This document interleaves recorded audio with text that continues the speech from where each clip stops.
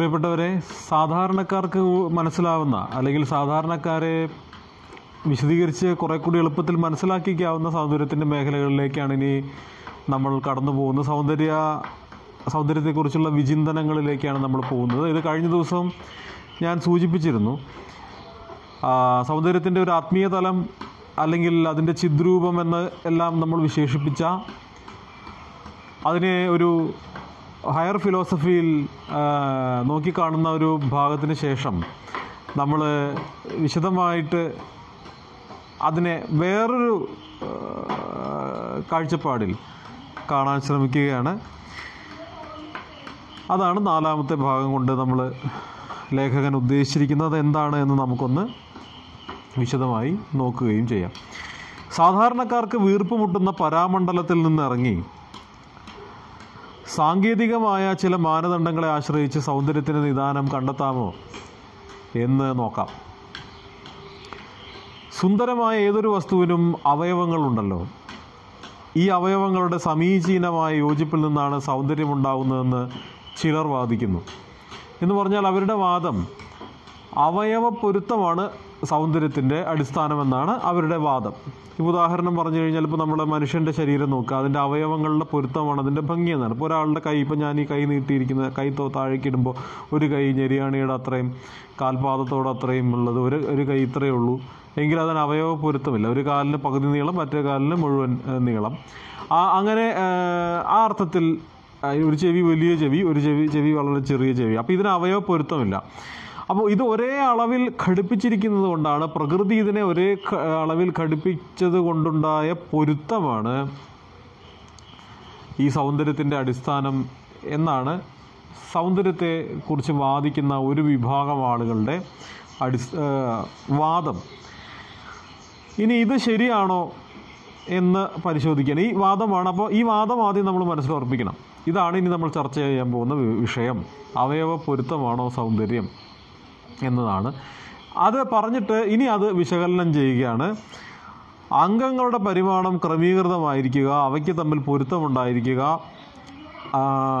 അങ്കിയായ വസ്തുവിന് അവ വിധേയമായിരിക്കുക ഇതാണ് സൗന്ദര്യത്തിന്റെ രഹസ്യമെന്നാണ് പ്രസ്തുത വാദത്തിന്റെ സാരം. ഈ വാദത്തിന്റെ സാരം എന്ന് പറയുന്നത് ഒരേ അളവിൽ ഉണ്ടായിരിക്കുക എന്ന് മാത്രം ആണ്. അളവ് എന്ന് പറഞ്ഞാൽ ഈ നീളം എണ്ണം രണ്ടും ഘടകമാണ്. ഇപ്പോൾ ഒരു കൈ നീളം കുറവ് ഒരു കൈ നീളം കുറവ് ഒന്ന് കൂടുതൽ ഒന്ന് കുറവ് ആണ് എന്നുള്ളതിൽ മാത്രമല്ല അപ്പോൾ ഒരാളുടെ പലരുടെയും കയ്യിൽ ആറ് വിരലുകളുടെ കൈകൾ. ഒരു കയ്യിൽ ആറ് വിരലുണ്ട് ഒരു കയ്യിൽ അഞ്ച് വിരലേ ഉള്ളൂ. എന്ന് പറഞ്ഞാൽ അതിന് സൗന്ദര്യം ഉണ്ടോ ഇല്ലയോ എന്നുള്ളതാണ്. അപ്പോൾ അതിന് സൗന്ദര്യം ഇല്ല എന്ന് വേണമെങ്കിൽ പറയേണ്ടി വരും. ഏത് ഘട്ടത്തിൽ ഈ വാദം നമ്മൾ ഉന്നയിക്കുകയാണെങ്കിൽ. കാരണം ഒന്നിൽ ആറും ഒന്നിൽ അഞ്ചും പൊരുത്തമില്ല. ആറും അഞ്ചും എണ്ണത്തിൽ വ്യത്യാസം വന്നു. കാഴ്ചയിലാ വ്യത്യാസം വന്നു. അപ്പോൾ അതിന് പൊരുത്തമില്ല എന്ന് പറയേണ്ടി വരും. ഈ ഭംഗിയില്ല എന്ന് പറയേണ്ടി വരും. ഈ ഏത് വാദം വെച്ച് നോക്കുകയാണെങ്കിൽ ഈ അവയവ പൊരുത്തത്തിന്റെതായ വാദം വെച്ച് നോക്കുകയാണെങ്കിൽ. ഇതാണ് സൗന്ദര്യത്തിന്റെ രഹസ്യമെന്നാണ് പ്രസ്തുത വാദത്തിന്റെ സാരം. ഈ വാദം ശരിയാണെങ്കിൽ ഒരു വസ്തു സുന്ദരമാണെന്ന് നമുക്ക് ബോധപ്പെടു ബോധ്യപ്പെടുന്നതിന് മുമ്പ് അതിന്റെ അംഗങ്ങൾ പരിശോധിച്ച് അവയുടെ പൊരുത്തം നാം മനസ്സിലാക്കിയിരിക്കണം. പക്ഷേ നമ്മുടെ അനുഭവം മറിച്ചാണ്. അപ്പോൾ ഈ വാദത്തെയും ഇവിടെ പൊളിക്കുകയാണ്. ഇപ്പോൾ നമ്മളിപ്പോൾ ഞാൻ ഈ ഇൻട്രൊഡക്ഷൻ പറഞ്ഞു തുടങ്ങിയപ്പോൾ നിങ്ങൾക്കും ഒരുപക്ഷെ ഇത് ശരിയാണെന്ന് തോന്നിയിട്ടുണ്ടാവും. അത് തന്നെയല്ലേ സൗന്ദര്യം. പക്ഷേ ഈ വാദത്തെ ലേഖകൻ തന്നെ ഇപ്പോൾ ലേഖകൻ തന്നെ മുന്നോട്ട് വെക്കുന്ന ഈ പൊതു അഭിപ്രായത്തെ ലേഖകൻ തന്നെ ഖണ്ഡിക്കുകയാണ്. അതെങ്ങനെയാണെന്ന് നമുക്ക് നോക്കാം. പക്ഷേ നമ്മുടെ അനുഭവം മറിച്ചാണ്. സൗന്ദര്യബോധമാണ് നമ്മിൽ ആദ്യം ഉദ്ദീപ്തമാവുന്നത്. അതിനുശേഷമാണ് അളവുകോലും യുക്തിവാദവും മറ്റും നാം പ്രയോഗിക്കുന്നത്. സൗന്ദര്യത്തെ ആസ്വദിക്കുന്നത് യുക്തിയേക്കാൾ ആന്തരികവും ക്ഷിപ്രപ്രവർത്തകവുമായ ഒരു ശക്തിയാണ്. ഇപ്പോൾ ലേഖകൻ തന്നെ ചില ഉദാഹരണങ്ങൾ പറയുന്നുണ്ട്. നമുക്ക് വേണമെങ്കിൽ ചില ഉദാഹരണങ്ങൾ എടുക്കാം. അപ്പോൾ ചില സ്ഥലത്തൊക്കെ കാനായി കുഞ്ഞിരാമനൊക്കെ ഉണ്ടാക്കിയിട്ടുള്ള ചില ശില്പങ്ങളുണ്ട്. ശില്പങ്ങളുടെ തല വളരെ വലുതായിരിക്കും. ഉടൽ വളരെ ചെറുതായിരിക്കും. ഒരു പൊരുത്തവുമില്ല. തല എടുത്തിട്ട് കയ്യിൽ പിടിച്ച് നിൽക്കുന്ന ശില്പമുണ്ട്. ഒരാൾ അയാളുടെ തല ഊരിയെടുത്ത് കയ്യിൽ പിടിച്ച് നിൽക്കുന്ന ശില്പം ഉണ്ടാക്കിയിട്ടുണ്ട്. അത് വളരെ ഭംഗിയുള്ളതാണെന്ന് നമ്മൾ പറയുന്നുണ്ട്. ഒരു പൊരുത്തവും ഇല്ല അല്ലേ? തല തലയിൽ കഴുത്തിന്റെ മുകളിൽ കാണേണ്ടത് അത് ഊരിപ്പിടിച്ച് കൈ പിടിച്ച് നിൽക്കുന്ന ശില്പത്തിന് എന്തെങ്കിലും പൊരുത്തമുണ്ടോ? പക്ഷെ അത് ഭയങ്കര ഭംഗിയാണ്.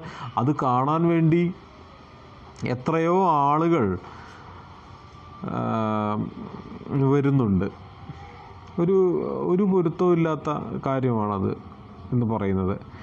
ഇനി വേറെ രീതിയിൽ ഇത് വരാം. ഇപ്പം നമ്മളെക്കാളൊക്കെ വലുത് വലിയ അഭിമാ ഒരു ഒരാളുടെ സാധാരണ ഒരു ആറടിയോ എട്ടടിയോ ഒക്കെ ശരാശരി പരമാവധി ഉയരം വരാവുന്ന ഒരു മനുഷ്യന്റെ ഇതിനേക്കാൾ എത്രയോ ഭീമാകാരമായ പ്രതിമകൾ ഉണ്ടാക്കി വെച്ചിട്ടുണ്ട്. ഇപ്പോൾ സ്റ്റാച്യു ഓഫ് യൂണിറ്റി എന്നൊക്കെ പറയുന്ന ഇപ്പം കേരളത്തിൽ ഇന്ത്യയിൽ ഉണ്ടാക്കിയിട്ടുള്ളത് ലോകത്തിലെ ഏറ്റവും വലിയ പ്രതിമയാണ് ഭീമാകാരത്വം. നോക്കുമ്പോൾ ഒരു മനുഷ്യനുമായിട്ടൊരു പൊരുത്തവും അതിനെ വളരെ അടുത്ത് നിന്ന് നോക്കിയാൽ ഒരു പക്ഷേ ഉണ്ടായിക്കൊള്ളുന്നില്ല വളരെ ദൂരെ നിന്നൊക്കെയുള്ള വിഷ്വൽസാണ് നമ്മൾ കണ്ടിട്ടുള്ളത്. പക്ഷെ അത് എത്ര മനോഹരമാണ് എന്നും അതിനടുത്ത് പോയിട്ട് ആളുകൾ അതിനെ ആസ്വദിക്കുന്നു. വലിയ ടൂറിസം മേഖലയായിട്ട് അവിടെ മാറുന്നു. ഇങ്ങനെയൊക്കെ സംഭവിക്കില്ല അപ്പോൾ ആർട്ടിലേക്കൊക്കെ വരുമ്പോൾ ഇങ്ങനെയുള്ള പല പല പല കാര്യങ്ങളുണ്ട്. ഞാൻ പറയുന്നത് ചില പൊതുമെ പുറമേ നിന്ന് നോക്കി കാണുമ്പോൾ നമുക്ക് കിട്ടാവുന്ന ചില ഉദാഹരണങ്ങളാണ്. ഇനി ഇവിടെ ലേഖകൻ തന്നെ പല ലളിതമായിട്ടുള്ള ഉദാഹരണങ്ങൾ അതിനകത്ത് പറയുന്നത് അംഗവൈകല്യത്ത ഇല്ലാത്ത മനുഷ്യരെല്ലാം സുന്ദരന്മാരാണെന്ന് പറയേണ്ടി വരും. അപ്പോൾ അങ്ങനെയാണെങ്കിൽ ഈ പ്രകാരം അവയവ പൊരുത്തമാണ് സൗന്ദര്യത്തിന്റെ മാനദണ്ഡമെങ്കിൽ അവയവങ്ങൾക്കെല്ലാം കൃത്യതയുള്ള നല്ല ശക്തിയുള്ള ആളുകളെ ഒക്കെ നമ്മൾ സുന്ദരന്മാർ എന്ന് വിളിക്കേണ്ടി വരും. സുന്ദരന്മാരുടെ പട്ടികയിൽ പെടുത്തേണ്ടി വരും. അങ്ങനെ നമ്മൾ പെടുത്തുന്നുണ്ടോ? നല്ല ശരീരം ഉള്ള ആൾ നല്ല മുടിയുണ്ട് അവയവങ്ങളെല്ലാം കൃത്യം സമാസമം ലക്ഷണമൊത്തതാണ് എല്ലാം. അങ്ങനെയുള്ള എല്ലാവരെയും നമ്മൾ സൗന്ദര്യമുള്ളവർ എന്ന് പറയാറുണ്ടോ? ഇല്ല എന്നതാണ് വാസ്തവം. അപ്പോൾ എന്താ പ്രശ്നം? അവയവ പൊരുത്തമുണ്ട് പക്ഷെ സുന്ദരനല്ല എന്നാണ് പറയുന്നത്. അപ്പോൾ സൗന്ദര്യത്തിന്റെ അടിസ്ഥാനം അവയവ പൊരുത്തമാണോ അല്ല നിശ്ചയമായിട്ടും അല്ല. അപ്പോൾ അതാണ് ഇവിടെ ആ വാദത്തെ വീണ്ടും ഈ വേറെ രീതിയിൽ പറയുന്നത്. അംഗവൈകല്യമില്ലാത്ത മനുഷ്യരെല്ലാം സുന്ദരന്മാരാണെന്ന് പറയേണ്ടി വരും. പക്ഷേ അംഗവൈകല്യമില്ലാത്ത പലരെയും നാം കാണുന്നുണ്ടെങ്കിലും സൗന്ദര്യം ചുരുക്കം ചിലർക്ക് മാത്രമേ ഉള്ളൂ. സമചതുരമായ ഒരു രൂപത്തിന് നല്ല പൊരുത്തമുണ്ടെങ്കിലും പറയത്തക്ക ആ സൗന്ദര്യമൊന്നുമില്ല. അപ്പോൾ സമചതുരാകൃതിയിലാണ് എന്ന് ആലോചിച്ച് നോക്കുക നമ്മളത് ആസ്വദിക്കും. ഒരു കൗതുകത്തിന് ചിലപ്പോൾ ആസ്വദിക്കും. പക്ഷേ വളരെ മനോഹരമായിരിക്കുന്നു. സമചതുരാകൃതിയിൽ അയാളുടെ രൂപം. നിങ്ങളുടെ ക്ലാസ്സിൽ ഒരാൾ സമചതുരാകൃതിയിൽ വരുന്നു എന്ന് ആലോചിച്ച് നോക്കൂ. നിങ്ങൾ പറയൂ എത്ര സുന്ദരനാണെന്ന് പറയൂ. പറയ പറയാൻ സാധ്യതയില്ല. ആ അർത്ഥത്തിൽ പറയുകയില്ല. എന്ന് വെച്ചാൽ അയാളെ കളിയാക്കുമെന്നോ അയാളെ ഓടിക്കുമെന്നൊന്നും അതിനർത്ഥമില്ല സുന്ദരനാണെന്ന് പറയില്ല. എന്താ അപ്പോൾ നിങ്ങളെക്കാൾ വ്യക്ത അവയവ പൊരുത്തം അയാൾക്കുണ്ട്. സുന്ദരനാണെന്ന് പറയുമ്പോൾ നിങ്ങളുടെ തല ചെറുതായിരിക്കുന്നു ഉടൽ പിന്നെ വലുതായിരിക്കുന്നു കാലിന്റെ അവിടേക്ക് വരുമ്പോൾ വീണ്ടും കുറയുന്നു. പിന്നെ അവിടെ നിന്നേക്ക് താഴേക്ക് താഴേക്ക് പോകുമ്പോൾ മെലിഞ്ഞു മെലിഞ്ഞു പോകുന്നു. ഇതെന്ത് രൂപമാണിത്? മുഖത്താണെങ്കിൽ കുറേ ഓട്ട ചെവി രണ്ട് ദ്വാരം കണ്ണ് രണ്ട് ദ്വാരം മൂക്ക് രണ്ട് ദ്വാരം വായ ഒരു ദ്വാരം. ഇതൊക്കെയാണ് മുഖം എന്ന് പറയുന്നത്. കുറേ ദ്വാരങ്ങൾ ഇട്ടിട്ടുള്ള ഒരു സംഭവം. അതിൽ മൂക്ക് ഉന്തി വെക്കുന്നു പുറത്തേക്ക് ഉന്തി വെക്കുന്നു മൂക്ക് ചെവിയാണെങ്കിൽ പുറത്ത് ഫിറ്റ് ചെയ്തിരിക്കുന്നു. രൂപം ഒന്ന് ആലോചിച്ച് നോക്കിയേ. നമ്മളതിനെയൊക്കെ സുന്ദര എന്നാ പറയുന്നത്. ഒരു പൊരുത്തമില്ല സത്യത്തിൽ ആ അർത്ഥത്തിൽ നോക്കുകയാണെങ്കിൽ. പിന്നെ രണ്ടെണ്ണം ഒരുപോലെ ഇരിക്കുന്നു എന്നൊക്കെ നോക്കിയിട്ട് പൊരുത്തം നിശ്ചയിക്കുന്നു മാത്രം. ഇനിയിപ്പോൾ ഇവിടെ പറയുന്നത് ആ പൊരുത്തങ്ങളെല്ലാം ഉണ്ടായിട്ട് രണ്ട് ചെവി ഒരേ വലുപ്പത്തിലുണ്ടായി രണ്ട് കണ്ണ് ഒരേ വലുപ്പത്തിൽ മൂക്ക് നല്ല നീളത്തിലുള്ള കവിഭാവനയിൽ പറയുന്ന പോലെ തിലപുഷ്പമൂക്കി കുയിലൊത്ത പാട്ടി എന്ന് പറഞ്ഞിട്ടുണ്ട് കവി ലക്ഷണം. കുയിലിനെ പോലെയുള്ള ശബ്ദം ഒക്കെ ഉണ്ടായിട്ടും എല്ലാം ഉണ്ട്. ചുണ്ടുകൾ എല്ലാം പൊരുത്തമുണ്ട്. ഭംഗിയുണ്ടോ എന്ന് ചോദിച്ചാൽ ഭംഗിയില്ല. എന്ന് പറയുന്ന എത്രയോ ആളുകളുണ്ട്. അപ്പോൾ അതൊന്നുമല്ല സൗന്ദര്യത്തിന്റെ മാനദണ്ഡം. ഇതാണ്. പിന്നെ എന്താണ്? അപ്പോൾ വീണ്ടും അന്വേഷണം തുടർന്ന് പോവുകയാണ്. പക്ഷേ അംഗവൈകല്യമില്ലാത്ത പലരെയും നാം കാണുന്നുണ്ടെങ്കിലും സൗന്ദര്യം ചുരു ചുരുക്കം ചിലർക്ക് മാത്രമേ ഉള്ളൂ സമചിതരമായ രൂപത്തിന് നല്ല പൊരുത്തമുണ്ടെങ്കിലും പറയത്തക്ക സൗന്ദര്യമൊന്നുമില്ല. നേരെ മറിച്ച് പ്രകൃതിയിലുള്ള സുന്ദരമായ പല വസ്തുക്കളിലും നിശ്ചിതമായ യാതൊരു പൊരുത്തവും കാണുന്നില്ലെന്ന് പറയേണ്ടിയിരിക്കുന്നു. എന്നാലോ പൊരുത്തമില്ലാത്ത ഒരുപാട് വസ്തുക്കളിൽ സൗന്ദര്യം കാണുന്നുമുണ്ട്. അവിടെയാണ് പ്രശ്നം. പൊരുത്തമുള്ളതിൽ പലതിലും സൗന്ദര്യം കാണുന്നുമില്ല. എന്നാൽ പൊരുത്തമില്ലാത്തതിൽ പലതിലും സൗന്ദര്യം കാണുന്നുമുണ്ട്. ഇനി അതിനൊക്കെ ഉദാഹരണങ്ങൾ എന്താണെന്ന് നോക്കാം. സമചതുരമായ പ്രകൃതിയിലുള്ള സുന്ദരമായ പല വസ്തുക്കളിൽ നിശ്ചിതമായ യാതൊരു പൊരുത്തവും കാണുന്നില്ലെന്ന് പറയേണ്ടിയിരിക്കുന്നു. സാമാന്യം വലിപ്പമുള്ള പനിനീർ പൂവ് അതിനോട് പ്രത്യക്ഷമായ യാതൊരു പൊരുത്തവുമില്ലാത്ത നേരിയ ഞെട്ടിൽ കഴുത്തൊടിഞ്ഞതുപോലെയാണ് സ്ഥിതി ചെയ്യുന്നത്. ഒരു പൊരുത്തവുമില്ല. പനിനീർ പൂവ് കിടക്കുന്നത് ഇങ്ങനെ ആ കഴുത്തൊടിഞ്ഞ പോലെയാണ്. പക്ഷെ ആ കിടപ്പിലൊരു സൗന്ദര്യം നമ്മൾ ദർശിക്കുന്നുണ്ട്. അതുകൊണ്ട് റോസാപ്പൂവിന് സൗന്ദര്യമില്ലെന്ന് വരുമോ? അരയെണ്ണത്തിന് നീണ്ട കഴുത്തും ചെറിയ വാലും മയിലിന് നീണ്ട വാലും താരതമ്യേന ചെറിയ കഴുത്തുമാണുള്ളത്. പൊരുത്തമുണ്ടോ? അവയവ പൊരുത്തമുണ്ടോ? ഒരവയവ പൊരുത്തമില്ല. ചെറുപൂവും ചെറുചെടികൾക്ക് താങ്ങാൻ വയ്യാത്ത വലുപ്പത്തിലുള്ള പൂവും ഉള്ളതായി നാം കാണുന്നുണ്ട്. അതിന് മുമ്പൊരു വരിയുണ്ട്. എന്ന് വെച്ച് അവയുടെ സൗന്ദര്യം അഭിനയി അഭിനന്ദിക്കാത്തവരുണ്ടോ? ചെറുപൂവും ചെറുചെടികൾക്ക് താങ്ങാൻ വയ്യാത്ത വലുപ്പത്തിലുള്ള പൂവും ഉള്ളതായി നാം കാണുന്നുണ്ട്. രണ്ടും രണ്ട് വിധത്തിൽ സുന്ദരമാണ്. ഇതിലുള്ള പൊരുത്തം എന്താണെന്നുള്ള അന്വേഷണം വ്യർത്ഥമായിരിക്കും. ഇതിപ്പോൾ അന്വേഷിച്ച് പോയി കഴിഞ്ഞാൽ ഇതൊക്കെ ഭംഗിയുള്ളതാണോ എന്ന് ചോദിച്ചു പോയി കഴിഞ്ഞാൽ ആ അന്വേഷണം എവിടെ എത്തില്ല. അതെന്തുകൊണ്ടാണ് സുന്ദരമാണ്? ഇപ്പോൾ അരയന്നത്തിന്റെ കഴുത്ത് നീണ്ടിട്ടാണ് ഇരിക്കുന്നത്. ശരിയാണ് അല്ലേ? പക്ഷെ നമുക്ക് നോക്കുമ്പോൾ അതിന് സുന്ദരമായിട്ട് നേരെ മറിച്ച് ആ അതേ കഴുത്ത് നീട്ടം മനുഷ്യന്റെ കഴുത്തിനുണ്ടെങ്കിലോ? ഇപ്പോൾ മനുഷ്യന്റെ കഴുത്തിന് ഒരു മീറ്റർ നീളം.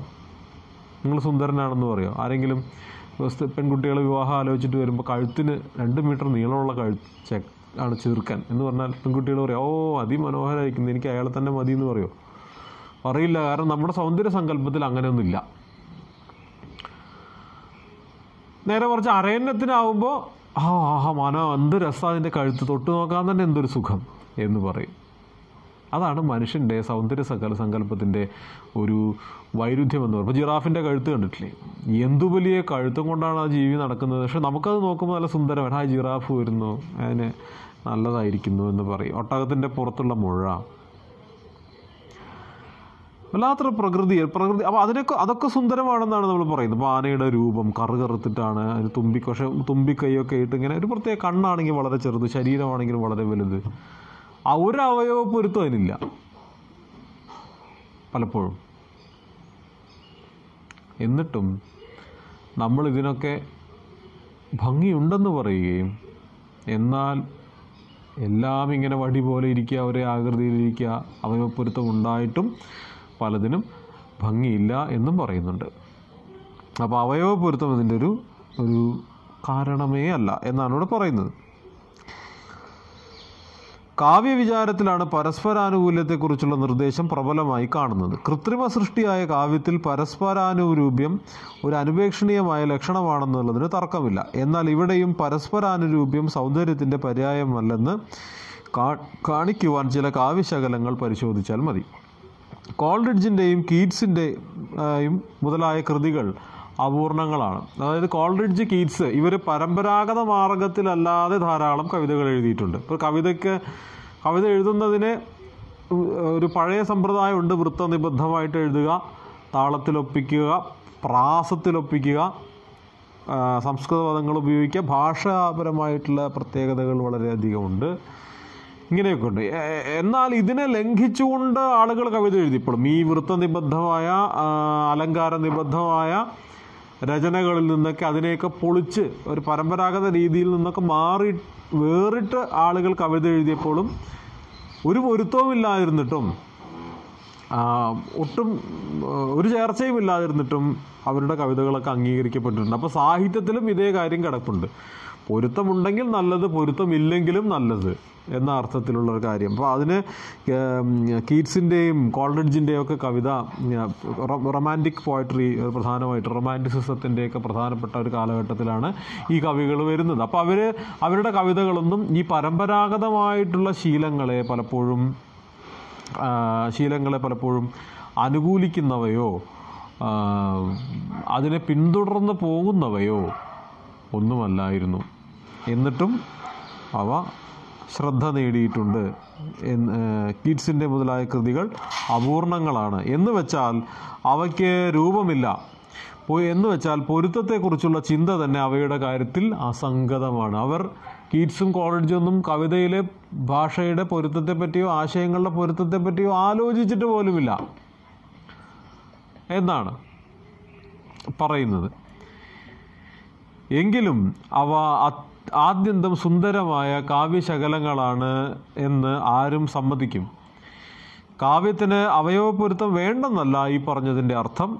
പ്രസ്തുത ഗുണവും സൗന്ദര്യവും ഒന്നല്ലെന്നേ വിവക്ഷയുള്ളൂ. കാവ്യത്തിന് പൊരുത്തം ഉണ്ടാവുന്ന നല്ലതാണ് വരികൾ തമ്മിലുള്ള പൊരുത്തം. ഞാൻ ഈ നേരത്തെ പറഞ്ഞ കാവ്യ ലക്ഷണങ്ങൾ എല്ലാം ഉള്ളത് നല്ലതാണ്.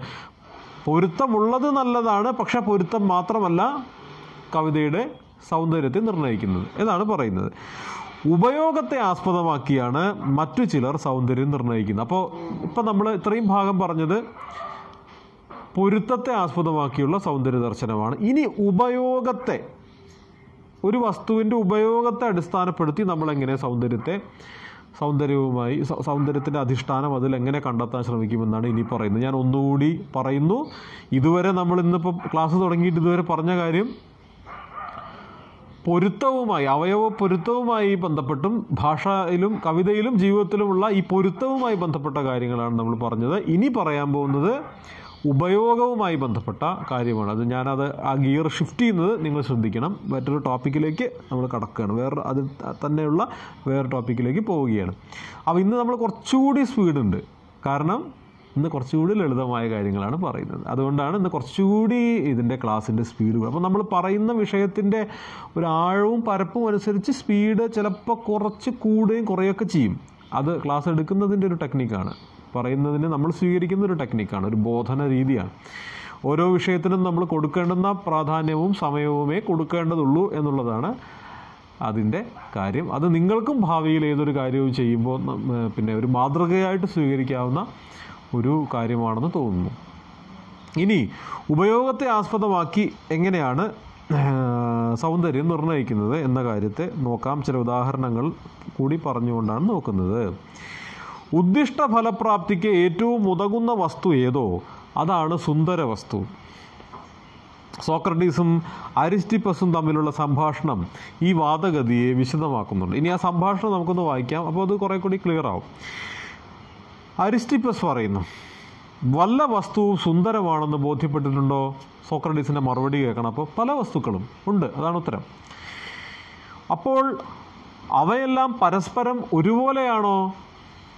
അവയിൽ പലതും പരസ്പരം യാതൊരു സാദൃശ്യവും ഇല്ലാത്തതാണ്. അപ്പോൾ സോക്രട്ടീസ് പറയുന്ന മറുപടി പല വസ്തുക്കളും സുന്ദരമാണ് പക്ഷെ ഒന്നും ഒന്നിൽ നിന്ന് വ്യത്യസ്തമായിട്ടുള്ളതാണ്. ഒന്നുപോലെയല്ല മറ്റേതിരിക്കുന്നത് പലതും അങ്ങനെ തോന്നിയിട്ടുണ്ട്. അപ്പോൾ അടുത്ത ചോദ്യം.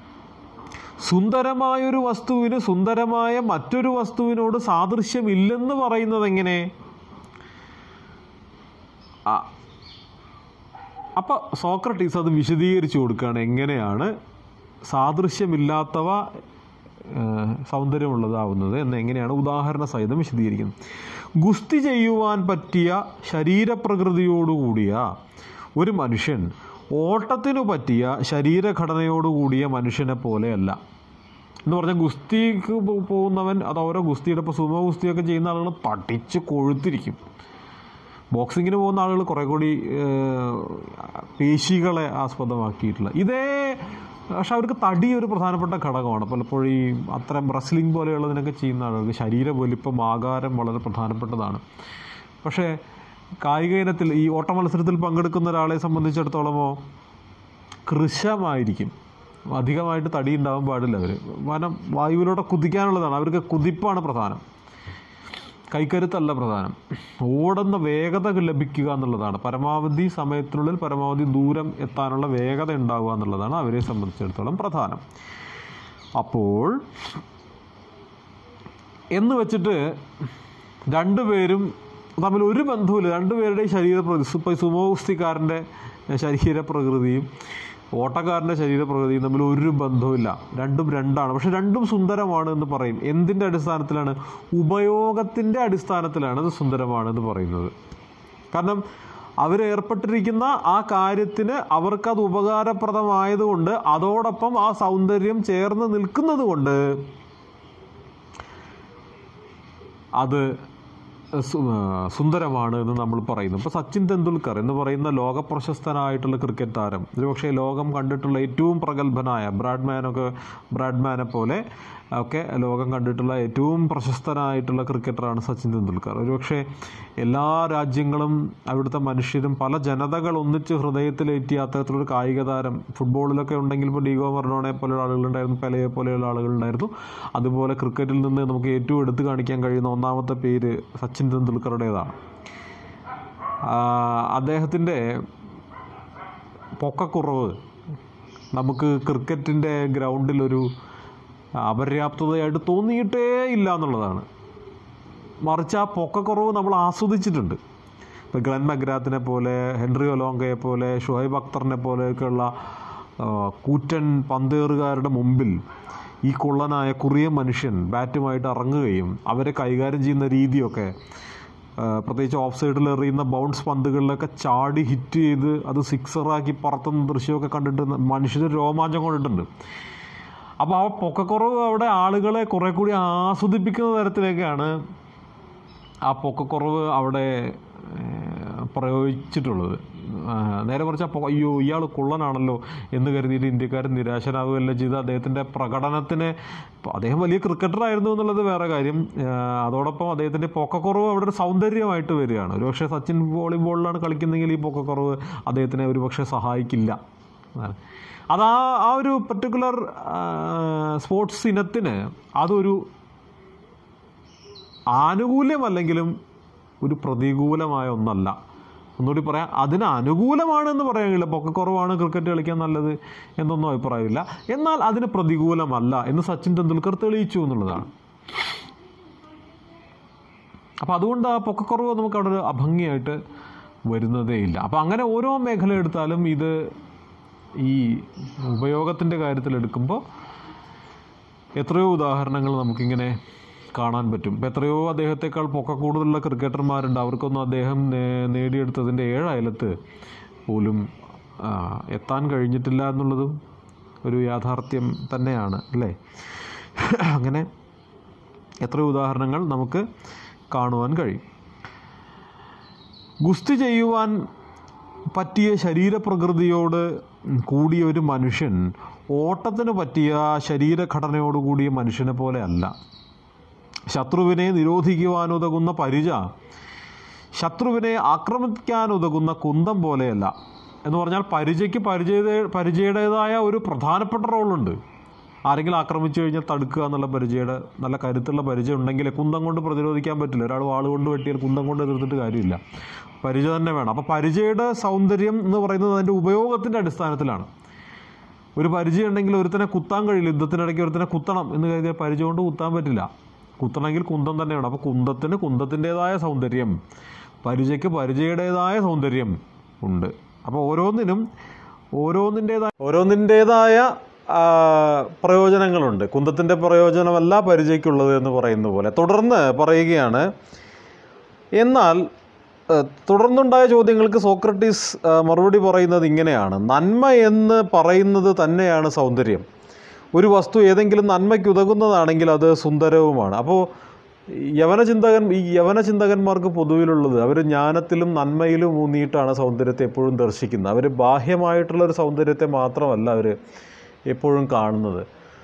കുറച്ചുകൂടി ആഴത്തിൽ സത്യസന്ധമായി സൗന്ദര്യത്തെ നിർവചിക്കാൻ ശ്രമിച്ചിട്ടുള്ള ആളുകളാണ്. അപ്പം ഞാൻ കഴിഞ്ഞ ദിവസം പ്ലാറ്റോയെ സംബന്ധിച്ചും ഒക്കെ പറഞ്ഞു അരിസ്റ്റോട്ടലിനെയും പ്ലാറ്റോയെയും ആ സോക്രട്ടീസിന്റെതായ പരമ്പരയെക്കുറിച്ച് പറഞ്ഞപ്പോഴെല്ലാം ഞാൻ സൂചിപ്പിച്ചുവല്ലോ അവർക്ക് ഇത്തരത്തിലുള്ള വിപുലമായ വിശദമായ ജ്ഞാനാധിഷ്ഠിതമായ കാഴ്ചപ്പാടുകൾ സൗന്ദര്യത്തെ സംബന്ധിച്ചുണ്ടായിരുന്നു. അതുകൊണ്ടാണ് അവർ ചിദ്രൂപത്തെക്കുറിച്ച് ജ്ഞാനസ്വരൂപമാണ് സൗന്ദര്യമെന്നും അടിസ്ഥാനപരമായി പ്രകൃതിയിൽ നിന്ന് സൗന്ദര്യം പുറപ്പെടുന്നത് എങ്ങനെയാണെന്നതിനെ സംബന്ധിച്ചൊക്കെയുള്ള കാഴ്ചപ്പാടുകളിലേക്ക് അവർ എത്താൻ കാരണം അതാണ്. അപ്പോൾ അതുകൊണ്ടാണ് നന്മയാണ് സൗന്ദര്യം. എന്നൊരിടത്തേക്ക് സോക്രട്ടീസൊക്കെ എത്താനുള്ളൊരു കാരണം അതാണ്. അപ്പോൾ നന്മയ്ക്കുതകുന്നതെങ്കിൽ ആണെങ്കിൽ അത് സുന്ദരവുമാണ് എന്ന് പറയുന്നത് അതാണ്. അരി അപ്പോൾ അരിസ്റ്റിപ്പസ് പറയുകയാണ് എന്നാൽ ചാണകത്തൊട്ടി ഒരു സുന്ദര വസ്തുവാണോ? അപ്പോൾ സോക്രട്ടീസ് പറയുകയാണ് തീർച്ചയായും ഉദ്ദേശപ്രാപ്തിക്ക് ഉതകാത്ത പൊൻപരിചയേക്കാൾ കാര്യത്തിന് കൊള്ളുന്ന കൊള്ളുന്ന ചാണകത്തൊട്ടിയാണ് സുന്ദരം. ഒരു ഉപയോഗമില്ലാതിരിക്കുന്ന പരിചയേക്കാളും ഉപയോഗമുണ്ടെങ്കിൽ ചാണകത്തൊട്ടിയാണെങ്കിൽ ചാണകത്തൊട്ടിക്കാണ് ഭംഗി എന്നാണ്. അപ്പം യവനചിന്തയിൽ നന്മയ്ക്കും നന്മയും സൗന്ദര്യവും മാത്രമല്ല ജ്ഞാനവും ഒന്നു തന്നെയാണ് എന്നാണ് ഭാവന. അതായത് നന്മ സൗന്ദര്യം ജ്ഞാനം ഇതിന് തുല്യ പ്രാധാന്യമുണ്ട്. മൂന്നും ഒരാളുടെ ഏറ്റവും വലിയ ഗുണങ്ങളായിട്ടാണ് യവനചിന്ത കാണുന്നത്.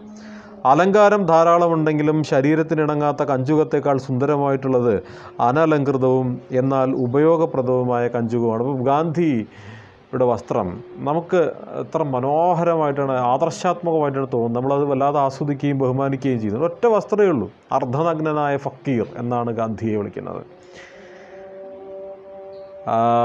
ഒരു ചെറിയ വസ്ത്രം മാത്രം. ഷർട്ടൊന്നും ധരിക്കാത്ത മുട്ടിന് താഴേക്ക് പോലും വസ്ത്രമില്ലാത്ത ഒരു എത്ര അനാർഭാടമായിട്ടാണ് അദ്ദേഹം വസ്ത്രം ധരിച്ചിരിക്കുന്നത്. സ്വന്തമായി കൈകൊണ്ട് തു ചർക്കയിൽ നെയ്തെടുത്ത വസ്ത്രം. ഒരാൾ അം അൻപതിനായിരം രൂപയുടെ വസ്ത്ര ശരീരത്തിൽ വേറൊരാൾ എടുത്തിട്ട് വരിക എന്ന് സങ്കല്പിച്ച് നോക്കൂ. കഴുത്തിലൊരു കുറേ എന്തൊക്കെയോ വലിച്ചു വാരിയിട്ടിരിക്കുന്നു ഷാളൊക്കെ വലിച്ചു വാരിയിട്ടിരിക്കുന്നു. ഒരു മഞ്ഞ കളർ ഷർട്ടും ബെൽറ്റ് ഒരു ഒരു റസ് കളർ ബെൽറ്റും ഒരു ഫ്ലൂറസൻ കളർ പാന്റും ഷൂസ് ഒക്കെ വേറെ ഏതെങ്കിലുമൊക്കെ കടും പച്ച ഷൂസും ഒക്കെ ഇട്ടിട്ട് ഒരു കറുത്ത കൂളിംഗ് ഗ്ലാസും ഒക്കെ വെച്ചിട്ട് ഷർട്ടിന്റെ തന്നെ പകുതി കൈയിന്റെ പകുതി ഭാഗങ്ങൾ ഒരു കൈയിന്റെ ഒരു ഷർട്ടിൽ നീല കളർ ഒരു കയ്യിൽ വെള്ള കളർ ഇങ്ങനെയൊക്കെ രൂപം ആയിട്ട് വന്നാൽ അമ്പതിനായിരം രൂപയുടെ ബ്രാൻഡഡ് ഉൽപ്പന്നങ്ങളാണ് ഉപയോഗിച്ചിരിക്കുന്നത് എന്ന് പറഞ്ഞാൽ നല്ല നല്ല സുന്ദരമാണെന്ന് നമ്മൾ പറയുമോ അതാണ് വ്യത്യാസം. അപ്പോൾ ഈ അലങ്കാരം ധാരാളം ഉണ്ടായതുകൊണ്ട് സൗന്ദര്യം ആയിക്കൊള്ളണമെന്നില്ല അനലങ്കൃതമാണെങ്കിലും ഒരു അലങ്കാരം ഇല്ലെങ്കിലും ലളിതമായിട്ടുള്ള വസ്ത്രം ധരിച്ചാൽ ഇപ്പോൾ ഗാന്ധിയുടെ ഒരു ഉദാഹരണം ഞാൻ പറയാൻ കാരണം അപ്പോഴും അതാണ് സുന്ദരമായത് എന്ന് നമ്മൾ ലളിതമായതാണ് സുന്ദരം ലളിതമാണ് സൗന്ദര്യം എന്ന് നമ്മൾ പറയും. അതാണ്. എന്ന് സോക്രട്ടീസ് മറ്റൊരവസരത്തിൽ പറയുന്നുണ്ട്. ഉദ്ദേശ സിദ്ധി സിദ്ധിക്കുള്ള പര്യാപ്തതയാണ് ഇവിടെ സൗന്ദര്യത്തിന്റെ മാനദണ്ഡമായി കൽപ്പിച്ചിരിക്കുന്നത്. സൗന്ദര്യം എന്ന ശബ്ദത്തിന് നാം സാധാരണ വിവക്ഷിക്കുന്ന അർത്ഥത്തിലല്ല സോക്രട്ടീസ് അത് പ്രയോഗിക്കുന്നത്. സാമാന്യ പ്രയോഗത്തിൽ ചാണകത്തൊട്ടി സുന്ദരമാണ് എന്ന് ആരും പറയുന്നതല്ല. അപ്പോൾ പെട്ടെന്ന് ചാണകത്തൊട്ടി വീടിന്റെ ഉമ്മറത്ത് വെച്ചിട്ട് ഹാ എന്ത് മനോഹരമായ ചാണകത്തൊട്ടി എന്ന് സാധാരണഗതിയിൽ പറയില്ല. അതിന്റെ കുറേ കൂടി ഉയർന്ന തലത്തിലാണ് അത് സുന്ദരമാണ് എന്ന് ഇവിടെ പറയുന്നത്. സാമാന്യ പ്രയോഗത്തിൽ ആ, ച- ചാണകത്തൊട്ടി സുന്ദരമാണ് എന്ന് ആരും പറയുന്നതല്ല. പോർക്കിന്റെ മോന്ത നോക്കുക. ആ നീണ്ടു തടിച്ച മൂക്കും കനത്ത തൊലിയും കുണ്ടിൽ കിടക്കുന്ന കണ്ണും നിലം കുഴിച്ച് കിഴങ്ങ് കണ്ടെത്തുന്നതിന് ഏറ്റവും പര്യാപ്തമാണ് അതിന്റെ ഘടന.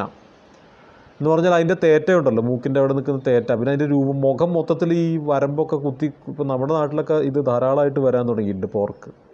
അതിന് കിഴങ്ങ് മാന്തി തിന്നാനും ഒക്കെ അതിന് വളരെ ഉപയോഗപ്രദമാണ്. ഇപ്പോൾ ഇവിടെ പറയുന്ന സിദ്ധാന്തം എന്താണ്? ഉപയോഗമാണ് സൗന്ദര്യത്തിന്റെ അടിസ്ഥാനമെങ്കിൽ ഈ പോർക്കിന്റെ മുഖം നല്ല ഭംഗിയുള്ളതാണ് എന്ന് നമ്മൾ കരുതിയിട്ട് ഫോട്ടോ ഒക്കെ എഴുതി വീട്ടിൽ ചുമരിലൊക്കെ തൂക്കേണ്ടതാണ് നമ്മൾ നമ്മൾ തൂക്കുന്നുണ്ടോ? ഒരു പന്നിയുടെ ക്ലോസപ്പ് ഫോട്ടോ എടുത്തിട്ട് പോർക്കിന്റെ ക്ലോസപ്പ് ഫോട്ടോ എടുത്തിട്ട് നമ്മൾ ചുമരിൽ തൂക്കാറുണ്ടോ? ഇല്ല.